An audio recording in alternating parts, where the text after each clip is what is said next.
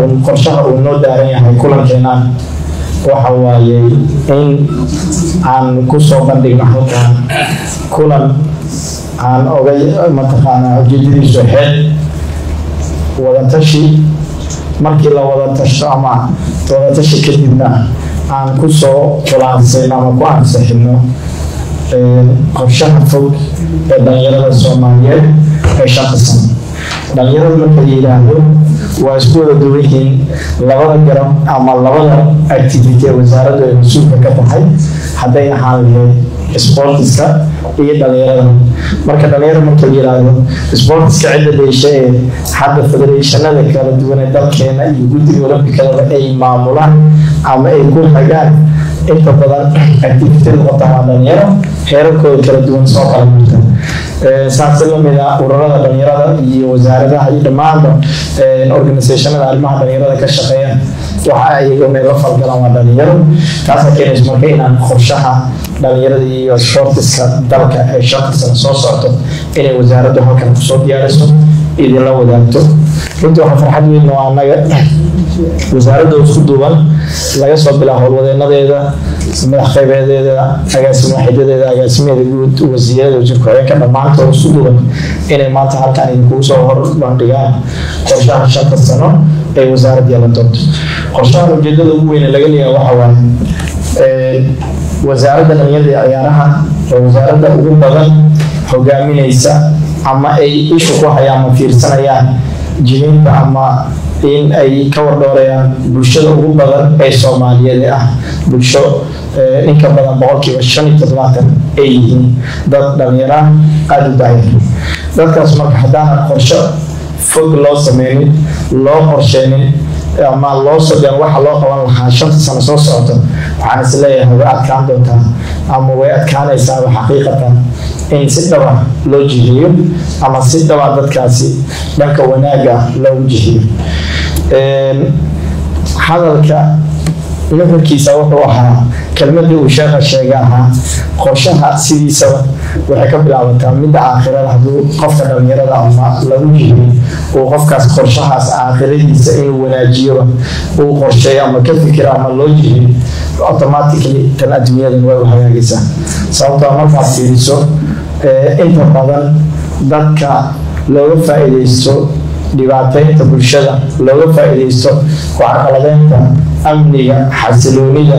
iyo dhan waliba oo colaam ku ah bulshada waxay ka yimaadaa qofka marka uusan fikir fiican ka haysanin ama uu ka fogaado xasuusnaanta aakhirada iyo aqoonta diiniga iyo fahamkaba markuusan haysanin waxaa sahlanaata dhanka kale in looga faa-ideysto ee ku dhibaateynta bulshada.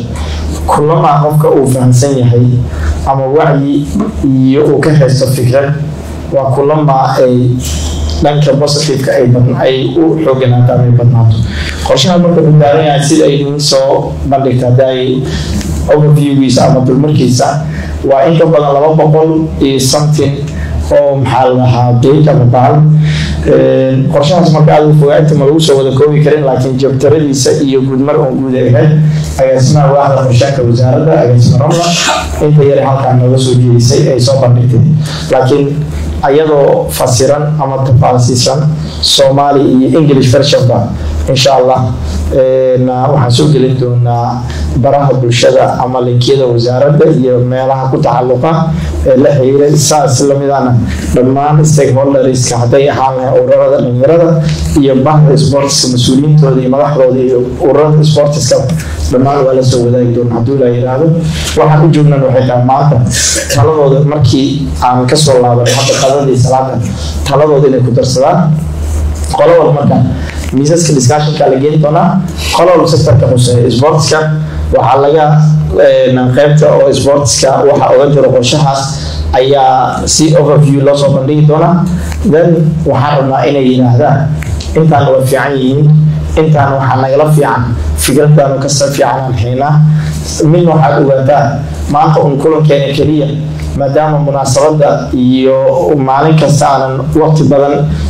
lasugu hayn karin. Anagoo og dadku inay leeyihiin waqtiyo kala duwan ama shaqo ama waxbarasho. Maanta waxaan ugu soo kornay kulankan laakiin haddii kulankan uu ku filnaan waata wasaaradda waxaa u furan mar walba talada suban iyo waxaa u furan mar walba inay qaadato dhegeysato qolo kasta waxaan u soo diri doonaa iimeiladooda gaarkaan ugu diri doonaa hadday tahay bahda sportska bahda ururada dhalinyarada gudoomiyaasha ururada madax banaan dhalinyarada iyo kuwa heer degmada sidaas lamida ururada bulshada iyo qof walba oo stakeholder oo daneeyaal ah halkan nagala jooga ee ah wasaaradaha dhinaca dowladda iyo maamulada waxaan la soo wadaagi doonaa haduunayna marka qorshe horta qorshe noocaas waa wax maanta keliya wasaaradda inta joogta iska qaadan doonto maha waa wax aan rabno waxaan idinkugu soo bandhigayna wax qurux badan ee aan rabno dhalinyaradan soomaaliyeed bulshada ugu badan dalka ka ah inaan ku jiheyno aan rabno haduunayna saad ogtihiinba maalmahan waxaad arkaysiin dhalinyaro baraha bulshada isugu marinaya fariino ama maxay tole ka shaqaynaya ama abaabulaya fariimo runtii aanan u wanaagsanayn dhalinyarada soomaaliyeed iyo bulshada soomaaliyeed. Taasoo ahayd fariimo aan qurux badnayn fariimo dhalinyaradu ka soo daaleen soddonkii sano ee dalkeenu burburka iyo dowlad la'aantu ahaa waxa horseeday waxa dalkeenu la haray dunida qeyrkeena dib nooga dhigay dhalinyarada qeyrkeena dib nooga reebay fariimaha maalmahan socday ay nasiib darase waan ka xunnaha in maanta ay dib noogu soo laabato wax qurux badna meeheen runtii dhalinyarada waxaan rabaa intoodii caqliga saliimka leh ama wax baratay inaan dhaxo fariimahaasi kuwa falkaas ku faltoon inaan dhaxno waxaas ka wax fiican maaha bulshadaba ma fiicno idinkuna idinma fiicno.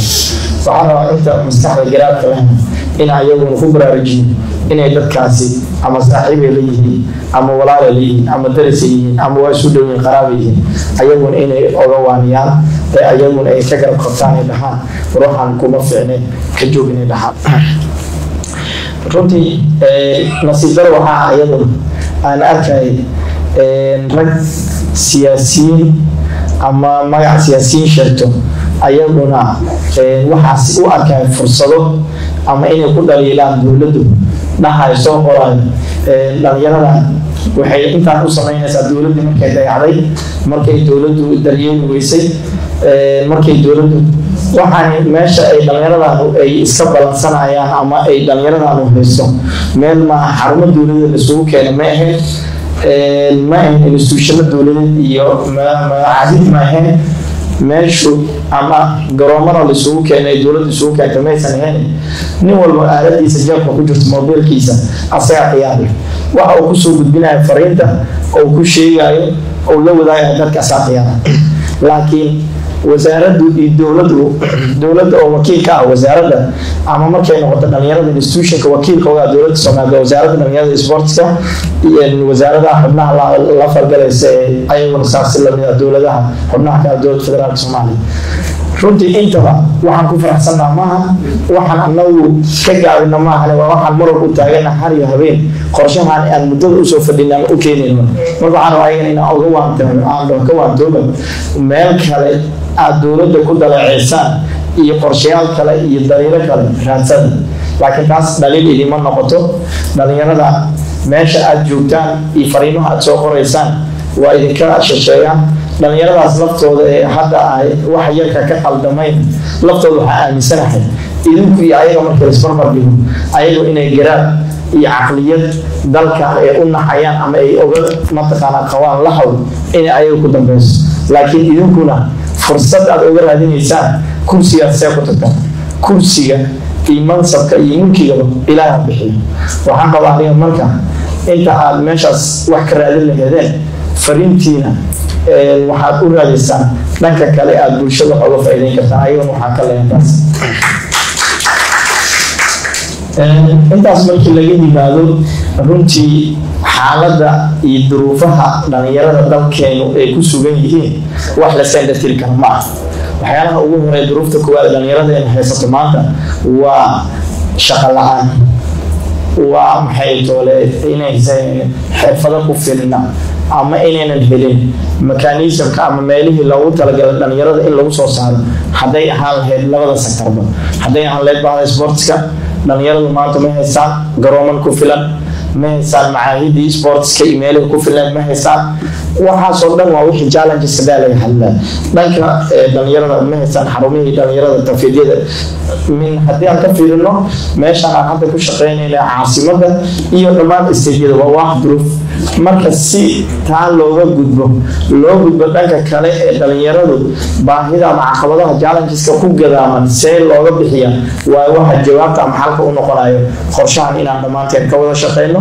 qorshahan inaan dhammaanteen maskax iyo caqli nin walba inta ishaalkiisa ah oo nagu biiriyo na yidhaahdo waxaana ila fiican waxaanaanan xoogaa ila fiicnayna ka reebo. Annaguna waxaan rabnaa idiin ballanqaadayna inaan diyaar u nahay wax kastoo wanaagsan bositifa dhalinyaradan lagu horumarinayo qorshahan qaranka aan u dejinayna dhalinyarada soomaaliyeed. Shanta sano soo socdo oo ku hirgala ama ku najaxa inaan qaadanaan idin ballan qaadayna annaguna haddaan nahay wasaaradda dhalinyarada iyo sportiska ugu dambeyn waxaan rabaa inaan kelmadeyda ku soo koobo maxaa nuxurka hadalka iyo inta la dhihi lahaaba waxaa yidhahda saaxiibaday inaan kelmadeyda ku soo koobo. Qorshahan saad ogtiin wasaaraddu dhalinyarada cayaaraha waayo waxay ka koobanta labada sektor waxaa hadda noo dhabaan oo keliya oo aan jabsharadii inta badan mawaadiicda aan soo xusnay siyaasadda qaran ee dhalinyarada laakiin weli waxaa drafti noo ah siyaasado kale oo muhiim u ah dhalinyarada ee ugu horeyso sameynta golada dhalinyarada qaranka waxaan rabnaa golaha dhalinyarada qaranka inaan dhisno meeshaasu ay ka baxdo dhalinyarada maxay tole fursad la'aanta inaan fursado u abuurno sababtoo hadda waxaa lagu bilaaba waxaa dhalinyaradu waxa ay ka qaban lahayd ama ay dalkooda u qaban lahayeen waxaa gacanta ku haysaa ogtihiinba hay'ado maxalli ah local ah ama kuwo caalami ah. Dhammaantood waxay leeyihiin waxaa wax ku qabanaa dhalinyarada markaad fiiriso maanta soomaaliya celcelis ama isku celcelin ahaan dakhliga ama waxa soo gala gargaarka ee caalamiga lagaha caalamka nagu deeqaan waxa ugu badan dalkeenu ku yimaado waa magaca dhalinyarada magaceeda wana ahado hadday loo bixiyo militeria haddii loo bixiyo xirfado la siinayo waxbarasho tacliin shaqo abuur dhammaan markii la sugeeyaan waxaan aaminsanahay dhalinyarada wax soo gaara ama la soo gaarsiiyo wax ka yar boqolkiiba toban ama boqolkiiba shan maxaa taas keenaa dhalinyaradii inay maxaa la dhahaa loo diyaarinin dhalinyaradii inaan la siinin fursad ay fikradahooda oga qayb galaan ama oga qayb geliyaan talada dalka taasoo marka meesha ka maqneed muddo fog ayaan anagu waxaan go'aansanay anagoo kaashanayna wasaaradaha ee dhigeena ee wasaaradaha xubnaha dowladda federaalka maamulka gobolka banaadir annagoo kaashanay ayaan waxaan go'aansanay inaan soo bandhigno aan dhahno oo arrinkaan keenay wax nagula daro. Marka waxaan rabnaa inaad idinkuna saas aad nagula qaadaan meeshaas nagula qarayntaan wixii dhaliila aan yeelanana nala tuusisaan taas waxaan leedahay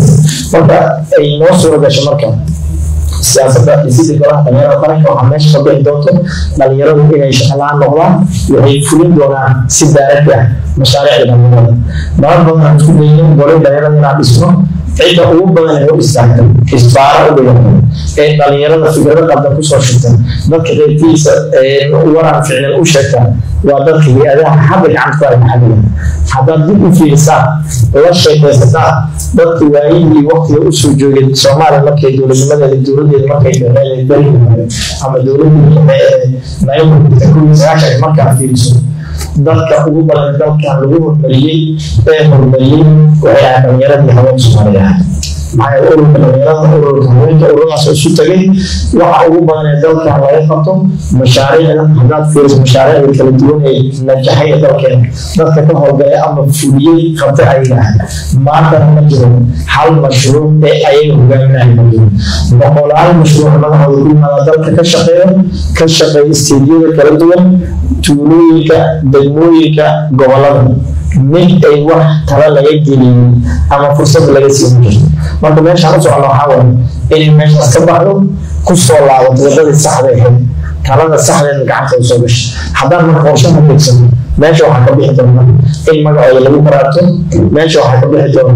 in shaqadii ayaga ay qaban lahayn karaanka u lahaayeen inay qolo kale iska qabato. Marka meeshaan u soconna hadafkaas oo hadafkaas hadduu insha allah u ilaahay noo gaarsiiya aan ku guuleysanana waxaan ku guuleysanaa si dhaba soomaaliya inay nabad noqoto